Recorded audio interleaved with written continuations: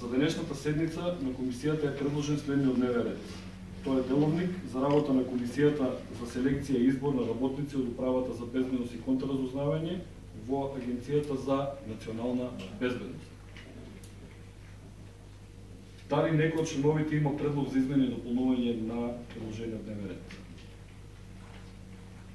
Доколку нема, истиот го ставам на и ќе го молам со на рака за.